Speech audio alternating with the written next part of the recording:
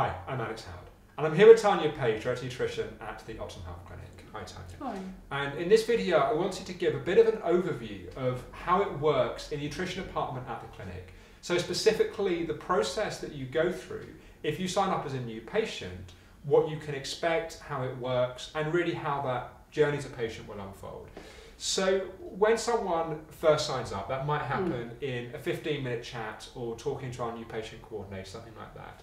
So one books an appointment, what happens next? What is that process? Okay, so um, as soon as that happens, um, the admin team sort of uh, gets into action, sends off um, a couple of questionnaires to the patient, also a confirmation letter.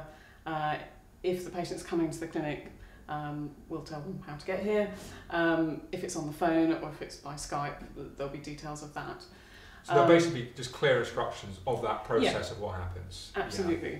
So that's what goes to the patient. We we ask that, that the questionnaires come back to the clinic as, as um, along with any other sort of relevant tests that the patient might have had more recently. Because um, obviously it's worth saying very often uh, people that come to the clinic have done a lot of other mm. nutrition based work before. It's fine if they haven't, but often they yeah. have.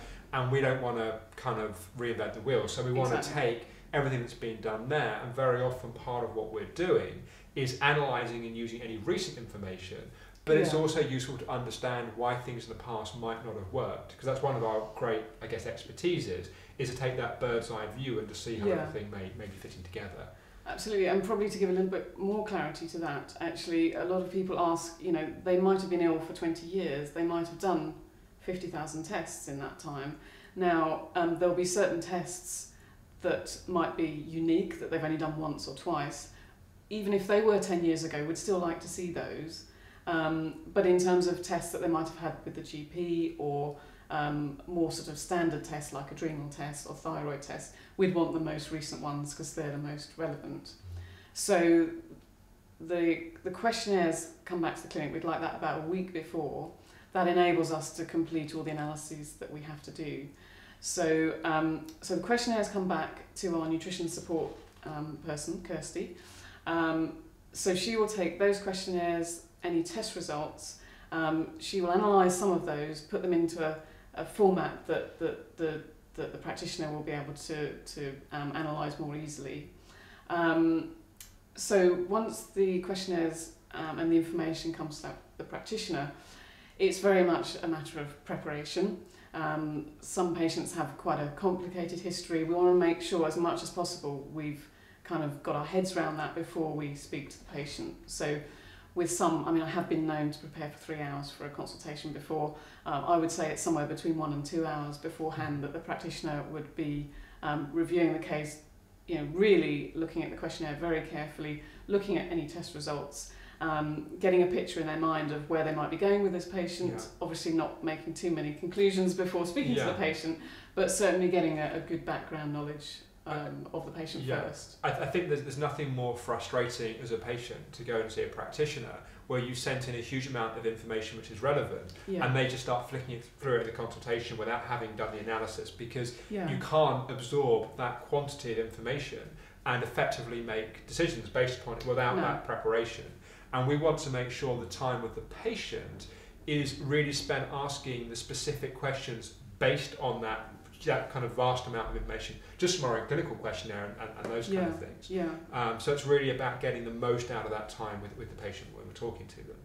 Yeah, um, and that's really why we had to take on someone for nutrition support because it was actually too much for a practitioner to do with each patient. There's so much information there, yeah. so nutrition support really helped us to partly analyse, um, you know, the patient's case, the, the, the simple stuff, the yeah. straightforward and stuff. put it into a spreadsheet where yeah. it can easily be effectively be used. Absolutely. Yeah. So I mean, just to kind of clarify at this mm. point, a recap. So before someone actually has their appointment, be it face to face or telephone or Skype, yeah. they filled in a, a number of um, questions on two questionnaires. That information has come to nutrition support. They've done a basic analysis and data entry with that. That's then come through to the practitioner. Yeah. They've spent one to two hours on average going through that and then we actually speak to the patient. Yeah. So what then happens in that consultation, in that time actually on the phone with the patient? Okay, so that time on the phone is approximately an hour. Um, occasionally runs slightly over that, that, that's what we're aiming for. Um, the idea in that hour is to really get to grips with the case in a lot of detail. So really take a very comprehensive history of that person. Um, that's medical history, that's life history, that's everything from the moment they were born. In fact, little bit before that, if we know that information, yeah. it's very useful to, to know from, from that point onwards. Um, because when we see the history of a patient, we can see um, what any um, issues were perhaps earlier in life that have uh, accumulated to, to create the current situation. Um, we want to know what the predisposing factors are, what any triggers to the illness um, might have been, um, and obviously what's going on now, what the key um, issues are that we need to address. Um, so it's very much a matter of um, lots of information gathering, making sure we're not reading between the lines as well. It's easy to look at a questionnaire sometimes and assume something. Patient might mean something a little bit different. So we do obviously use that time to talk to the patient to clarify certain issues yeah. and certain things that they might have told us so that we've got it absolutely clear what's going on. So we have a really good big picture of the situation. Um, we then obviously uh, get more information from the patient if we need it. We then talk um, about, or with the patient, about what we think is going on, what we think has caused the, the situation they're currently in, what, what has led up to it, what, what are the issues we really need to look at. And we try as much as possible to give as much information as possible. And I think this is the thing that's most useful to a patient, I think, to actually understand as much as we can at this point why they're in the situation that yeah. they're in. Yeah. Um, we at that point would would um, again as much as possible give a sort of roadmap of where we're going to go first. We can't draw the entire roadmap from now to recovery. We just can't do that. Yeah. But we certainly will know roughly what that might look at, and then we'll know in the short term what what the, the next steps are going to be, and maybe a, a, few beyond. Um, and we will give the patient as much information as they as they feel they need. Some people need a lot of information. Some people just need to be told what to do. Yeah. Quite frankly, um, you know, we will obviously um, see what suits the patient. Yeah. At that point. Yeah, and so at the end of that initial hmm. conversation. Mm. What happens next? Because obviously, then a process of having gone through the pre-consultation, the consultation, of kind of what the patient needs to do and how that's communicated. Yeah, so in the consultation, we would have discussed with the patient what the next steps are in terms of whether that's um, dietary changes, supplemental advice, um, as in supplemental nutrients, whether any other tests are appropriate um, to that patient. So after the consultation, we will send um, the appropriate information. So whether that be how to get tests done, um, what supplements they they need to take, um, where to get them, how to get them. Um, and what dietary information they need, and that will be very much tailored to that specific patient. Um, so those instructions are quite clear. They come um, as soon as possible after the consultation, um, certainly within a, couple of days. Um, and so, in theory, the patient has everything they need to move forward, yeah. so that they can um, go for the next few weeks. It may be four weeks, it may be eight weeks. It really depends what needs to be done in that mm-hmm. time. Um, we like to get as much information as we can for the first follow-up mm-hmm. because that's when we can really see how the patient's got on um, in terms of the dietary supplemental side. Yeah. Um, by the time we get there, and we will have gathered information on maybe home tests, yeah. um, that sort of thing. Yeah, and, and I think it's before we kind of come into mm. that, it's worth just kind of recapping that I know a question often comes up is people say, you know, the current price of £215, so that's quite a lot of money, I'm only on the phone for an hour. Mm. But actually, there's a lot of work that goes in, you know, there's, there's the work of nutrition support, mm. which could say, I'm guessing probably around half an hour to an hour per patient of the mm. stuff that comes Depends, in. Yeah. And then there's one to two hours prior Mm-hmm. There's an hour in the consultation, yeah. and then there's a write-up time, which can be, I guess, anything from half an hour again to, an extreme case of a couple of hours. Yeah. Because it can also be looking at any interactions with drugs that someone may be taking and that kind of thing as well. Absolutely, I think that the the more complex the case, the more drugs someone may be on, the more complicated it is for the practitioner. Yeah. And really, you kind of have to be sure where you're going and what you're doing. You know, you uh, you know, the type of practitioner we have are very professional, very accurate, um, and so we don't want to make any mistakes. We don't want to yeah. recommend something that goes against, you know, or, or would would interfere with drug um, the drugs that they're using. So, you know, it's really important to, to get on the right path from the word go. So we really, once we've got that big picture, we really have to sit down after the consultation and think, right, okay, what is the most appropriate step forward? Yeah. You know, which tests are pertinent for this patient? What can they actually manage to do? Mm. Um, you know, what supplements are appropriate for this person? What can they manage? You know, physically, um, psychologically, uh, Financially. financially. Yeah. Um, so it's like it's a whole big, you know, uh, can of worms actually um, to, to in that first consultation to really bring it together in a form that's actually understandable um, and, and clear uh, to the patient. So Yeah. yeah, it's it's it's a big lot of work in that that first consultation. Yeah. And so then between that first consultation and follow-up consultation, the patient may well um, be making various dietary changes, Yeah. taking various supplements. They may also be completing some home tests or, or um, other tests. So what then happens in a follow-up consultation? Well, in a follow-up consultation, um, we we talk again. It will be on the phone. Um, all follow-up consultations are done on the phone. Or by, by Skype? Or by Skype, yes. Um, so then hopefully we'll have, it may not be the case, but hopefully we'll have some home test results, we'll have some, um, maybe some results from labs. We'll, um, we'll really get a feel for how um, the patient has got on since the first consultation in terms of the dietary changes they may have made, how they've got on with those, um, supplemental um, nutrients, again, how they've got on with those, how they're now feeling as a result of all of that. We will look at all the information we've got um, based on how they've how they've been getting on, any test results. We will then um, again review and reassess the case. It's very much a matter of um, constantly prioritising, reviewing um, in order to move forward. So um, it's it's again it's like moving on to the next part of the roadmap. We've we've got more information now, so we can be more focused in, in where we're going next. So so literally it's a matter of discussing with the patient. Um, it is it's the same principle every time essentially. You know what's going on, how how are they feeling, how are they getting on, um, what do we need to do next, and obviously explaining how Yeah. how the Yeah. patient goes about doing that.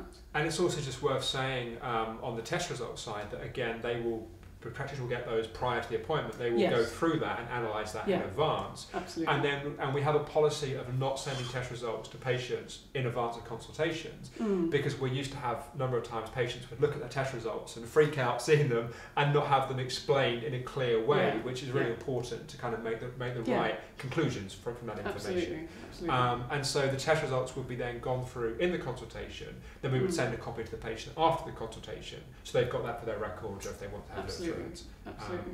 And then at the end of that follow-up consultation, there would again be recommendations for any changes to supplements. You know, we're, we're not fans of people staying on supplements longer than they need to. Mm. You know, there are people that come in that were put on um, a supplement program five years ago by a practitioner, and they're still taking it, yeah. which yeah. is kind of worrying. yeah. so definitely. you know, it's important that it's kind of you know that we people are on what they uh, what they need to be on, but they're not on more than that.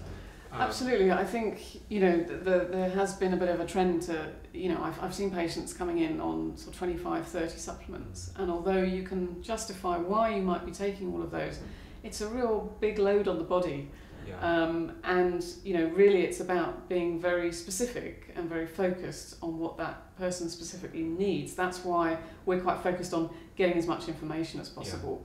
Because then we can be um, very specific about the nutrients that we suggest, and also I'm a, I'm a great believer in um, testing as much as possible. If we're giving a specific nutrient, say coenzyme Q10 for instance, it's an expensive supplement. So I'd rather test, do a blood test to find out how they're doing, um, which is actually cheaper than buying the supplement, yeah. um, so that we can actually see how long they need to be on that and, and you know come off it as soon as we Yeah. possibly can because finances obviously are you know key to, to many people. Yeah, yeah. And so then beyond a first follow-up consultation, Hmm. obviously then the process unfolds for that patient depending upon their situation, how things are improving, what they need, their finances, that kind of thing. Yeah. But generally, what's a rough picture of what that process would look like?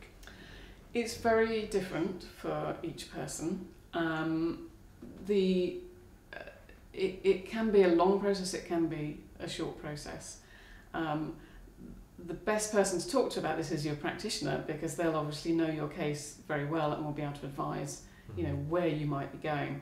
Um, it's unusual for there to be only the first consultation and the first follow-up, Mm-hmm. um, unless you only needed, you know, just simple sort of dietary um, guidance and a few sort of key supplements.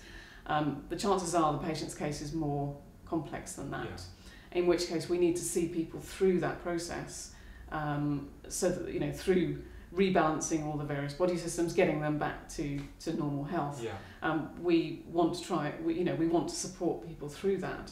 Now, it's how we do that has to be tailored to the patient. So, if there's all the money under the sun, which is extremely unusual, then we can do absolutely everything we need to do um, without any uh, concerns.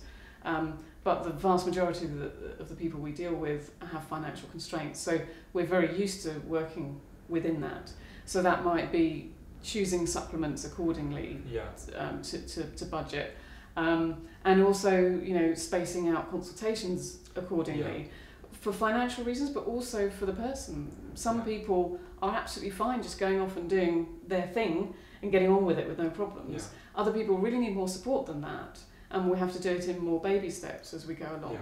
Um, so it's it's very much geared to what the patient needs and what is appropriate in terms of the program. Yeah, I think that's really important. Effectively, the practitioner will work with the patient where Yeah. they are Yeah. to get them where, where they ultimately want to get. And Yeah. it's maybe you know also worth saying at this point, and we've said it in other videos, but just to kind of um, make the point here, that if a case is particularly complicated and it's not responding in the way that the practitioner would hope it to, then that's also where the support structure of the entire department comes in Mm. that there are a team of six, seven practitioners all specialising in the way that, that we work. Yeah. So very often case studies will come up in team meetings and be discussed as well. And so a lot of what the patient doesn't see behind the scenes Mm. is that kind of constant research and development and communication to make sure that we're giving the very best kind of support and guidance to the people that we're working with. Absolutely. Um, and, and I guess, you know, in, in answer to the kind of final question, I think we've already answered it, which is around, well, you know, how long does it take? You know, what, you know, d- you know, does it work? And I guess really the answer to that question is that's where 15 minute chats are important Yeah. at the start. And that's where when you're in treatment, practitioners will be regularly road mapping and bringing back to, okay, so we finished this protocol, these things have changed, this is where we're looking to go next, this is how long it should take and what we expect. Mm. And so, you know, it's not a kind of, it's not a perfect um, prediction, no. but we're reasonably good now at having a sense of how things will unfold. yeah, um, indeed. So I guess really the kind of final point is if someone would like to find out more um, about the clinic, then an information pack and then a free 15 minute chat is the best way to do so. Um, and for someone that's in treatment, I hope it's just a useful kind of behind the scenes, as it were, yeah. of you know how we do what we do. Um, so thank you, Tanya, and thank you for watching. And we look forward to talking with you hopefully in another video very soon.